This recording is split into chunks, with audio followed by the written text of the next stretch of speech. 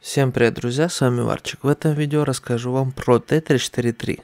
Заказали мне этот танчик покататься на нем на ББшках. И что из этого получилось?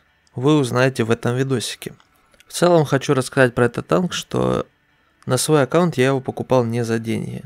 Этот танк очень старый, появился так давно, что я его успел уже раза два или три продать и столько же раз выкупить. А изначально покупал я его за голду, которую нафармил в клановых боях. При том, что этот танк, наверное, один из самых дорогих, потому что он льготный, если покупать за голду. В тот момент я его купил, поиграл, и он мне абсолютно не понравился. В тот момент еще там всякие операции утюжки проходили, карты заглаживали, разглаживали. Так в итоге ничего и не разгладили. УВН у этого танка не было.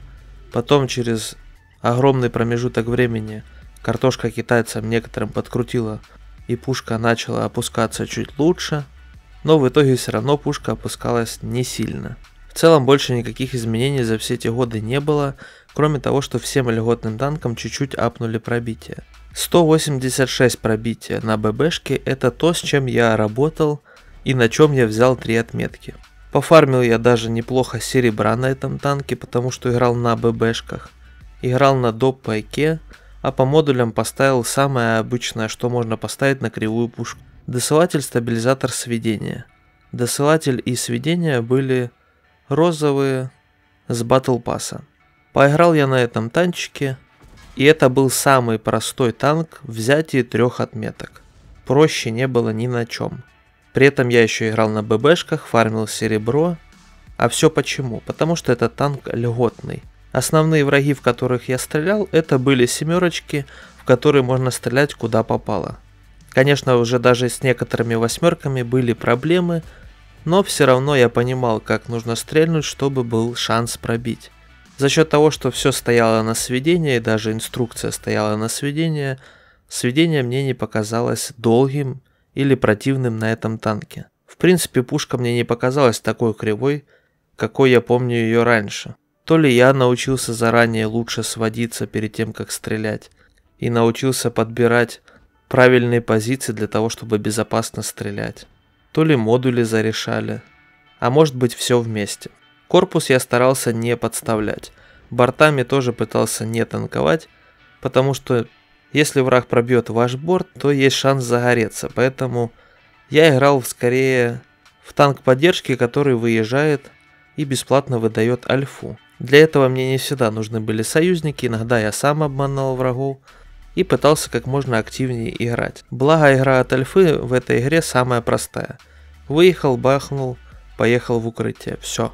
Самое главное всегда находиться в укрытии, безопасно бахать альфу и только в экстренных случаях размениваться. Также можно еще потанковать от башни. Башня здесь неплохая, пробивают в нее не так уж и часто. Но что мне больше всего понравилось, это то, насколько простые и приятные бои собираются на этом танке, за исключением дисбалансных карт. Они и на этом уровне неприятные. За счет того, что этот танк льготный, собирают против нас таких пупсиков 7 и 6 уровня очень часто, что они вообще не кажутся противниками. Ты въезжаешь в него двумя ногами и также его выносишь и едешь дальше. Многие враги будут вам просто на два выстрела.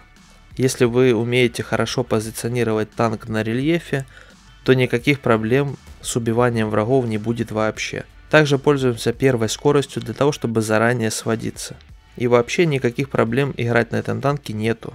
Можете кинуть мне камень в мой огород, но я не вижу смысла поднимать пробитие ББшки на этом танке.